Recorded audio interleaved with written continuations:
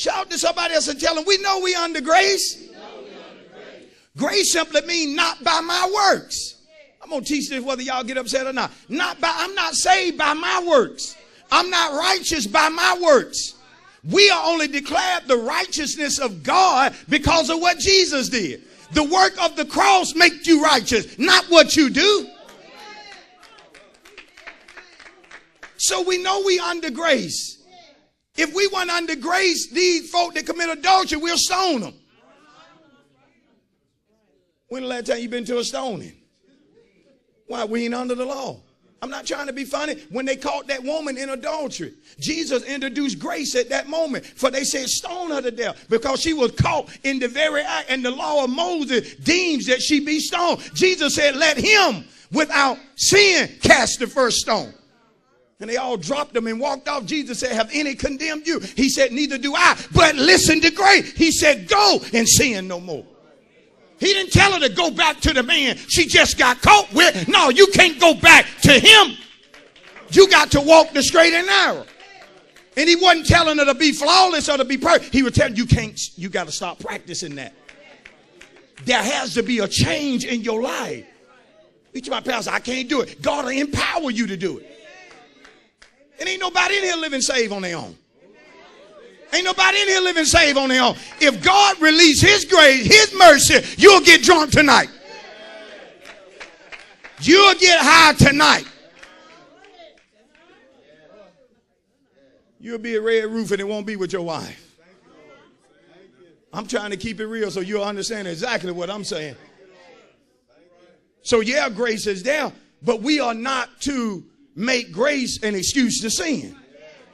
But see, this is what folk doing in our day and time. They don't want to tell nobody that they're a sinner no more. Come on.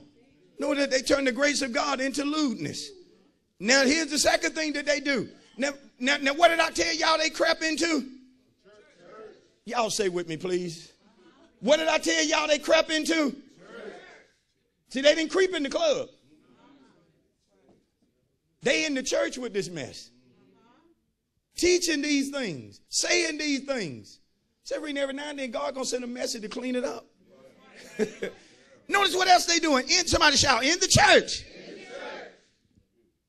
And deny the only Lord God and our Lord Jesus who? Right. Neighbor they up in the church, in the church. denying, denying that Jesus is Lord.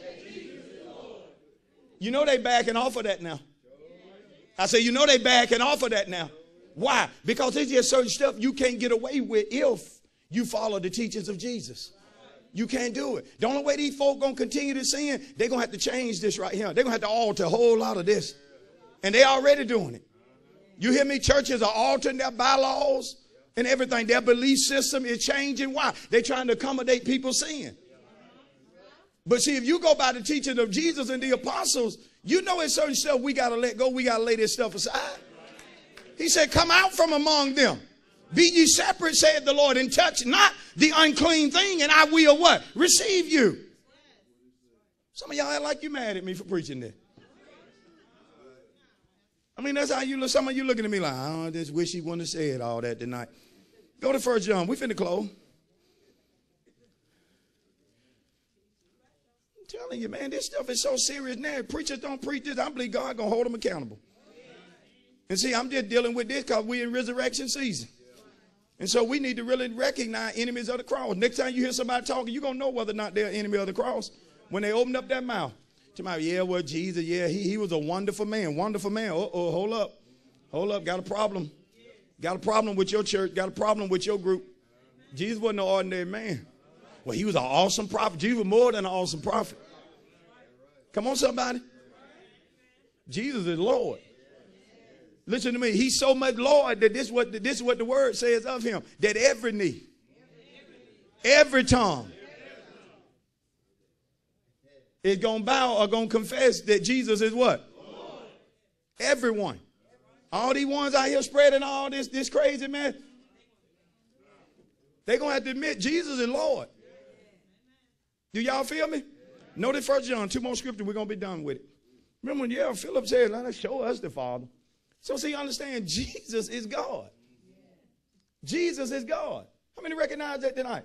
100% God. Amen? Amen?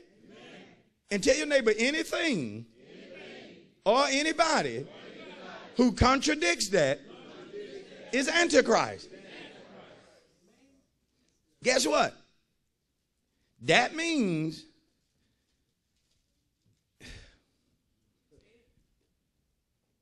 if that mama, mama just wrong. If that daddy, daddy just wrong. If that sister, brother, cousin, uncle, it don't matter. Listen to me, saints. I'm preaching this because it's this serious in our day and time. It's this serious. It's this serious. Notice First John, two more scriptures and y'all can be done. First John 2 and 22. Who is a liar? But he who denies, I mean, First John 2 22. Who is a liar but he who denies that Jesus is the who? Who is a liar but he that denies that Jesus is the who? So if a person denies that Jesus is the Messiah, the Son of God, that person is a what? Listen to me. I don't care how educated they are. I don't care how long they say they've been saved. That person is a liar. Now, if there is an organization who has its origin in that belief, that organization is false. I don't care how much good wisdom they put out. I don't care how much knowledge they claim to have. If at the core of your belief, Jesus is not Lord, that's antichrist. You against Christ or Jesus. Am I right? Oh Lord. Notice there, whoever, no, no, he is antichrist who denies the Father and the what? The Father and the who? So you can't have the Father without the Son. Some of y'all, you ain't gonna get the significance of this message until you see a couple of more things manifesting in this dark world that we're living in. Saints, y'all don't realize how dark the world is getting. In my opinion, the world is in one of its darkest hours. Listen, and it won't get lighter. Things are going to get worse. Much, much, much worse. You ain't seen half of what's going to come on this earth. As far as tragedies, violence. Saints, you, you, we, it, it's going to get tough. That's the only way I can. It's going. And these preachers that tell saints you gonna be raptured out, you won't see no tribulation. What? Saints, this thing getting serious when folks start denying God openly, denouncing the word of God, taking the word of God out of things, no longer letting God's word be foundation. It's gonna get tough. It's gonna get rough. And this reason God gonna start sending word like this because only the strong gonna survive. Only those that really know when they are trying to be deceived and they cannot go with it. Those are the ones gonna because everybody else, Satan is going to deceive, saints. They're going to be caught up in something, may say the church, but because of their core belief, God ain't got nothing to do with that. Are y'all feeling me? This is the reason during resurrection season, it's so important that I declare the truth to you so that you'll know truth. You'll know how to judge things. That's the first way we judge things. If you want to know what anything is about, as far as from a religious standpoint, first thing you want to ask, who is God? Is Jesus God? Is Jesus the only way to the Father? And if they got anything, listen to me. Y'all be surprised of mega preachers who no longer openly admit that Jesus is the only way to heaven. If I told you some of their name, you'd be shocked. You'll say, Pastor, he didn't say that. But I heard him say it. This is how dangerous the hour is. And they said it out of pressure to be in fellowship with everybody. But see, being a Christian is about to go back to the days of Acts when it wasn't glorious to be a Christian. See, it's popular to be saved now. Back in the New Testament, at the time Jesus died, it was a terrible thing to call yourself a Christian. But now it's popular. Why? Because most Christians don't water down the word. But if we start to straighten things out, through the assistance of God, you, you're going you're gonna see some things in these next hours. This, this message is prophetic. Notice, yeah, yeah, yeah, I'm speaking prophetic tonight. He that hath an ear, let him hear. Let him hear. I'm, I'm speaking prophetic tonight. First John 2 and 22. Who is a liar, but he denies that Jesus Christ? He is Antichrist. Who denies the Father and the Son? Whoever, somebody shout, whoever. whoever. Somebody shout, whoever. whoever.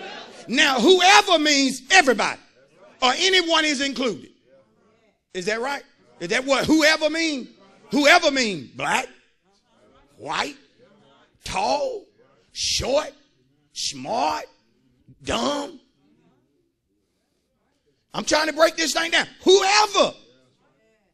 Because some of us are like this. We believe certain stuff that is Bible, but now somebody else say something that we think is smart or anointed, we'll even go against Bible. Well, so and so said that, so must not be nothing wrong with it. You know, so and so could have backslid just like you. Even though he leading thousands of people, he can still be in a backsliding condition. You know that, don't you? You know preachers backslide and keep preaching because they need the money. Where, where, where Bishop so and so said it was all right. Maybe because Bishop so and so caught up in it. See, this word I'm preaching, y'all, it's a whole lot of preach. They not going to preach this. They lose half their members because half their members are Muslims. And they in that congregation because they never declared Jesus as Lord. If they ever declared Jesus as Lord, folks, get them leave right then.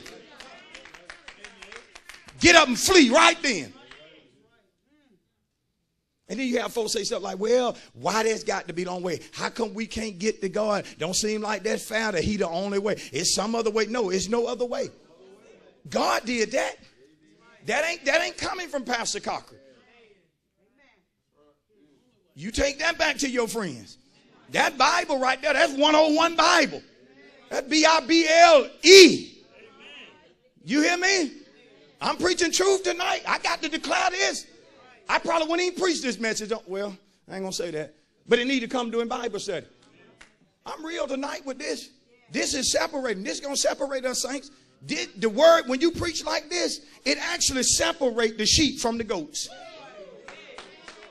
See, God ain't necessarily got to physically separate us. The word separates us. That's when he said, let the wheat grow up with the what? And I'll do the separating. Do you know what God doing tonight? He's separating. If you involved in something you ain't got no business doing, you better make up your mind who you gonna serve. And you better come out of that darkness. And that's one thing the Bible requires of us when you get saved. You are to renounce the hidden works of darkness. You can't be operating in darkness and talking about you're a Christian. Notice this, I got to get done with this. Whoever denies the Son does not have who? I'm in verse 23 and I'm, I'm stomping this. Whoever denies the Son does not have who? Tell your neighbor if you deny the Son, you don't have the Father. Shout to him at all. Well, God is our Father, not if you deny the Son. Not if you deny the Son. Heard a preacher preaching all day say Jesus didn't die on the cross. Say a man had a knife and Jesus leaned back on the knife and died. Millions of folk falling. If listen, I'm trying to close. This how serious this is. Anything been prophesied, saints, it won't fall. I don't care what it looked like. If it's been prophesied, it's gonna stand. Jesus, I mean, God prophesied through the prophet how Jesus would die. He'll be lifted up. He'll be crucified. He'll be between criminals. See, that's the reason the church couldn't take Jesus and do away with him themselves. You better hear me because prophecy was against it. Because if the Jews had killed him, it'd have been by stoning. But the word say he wouldn't be stoned, he'll be hung.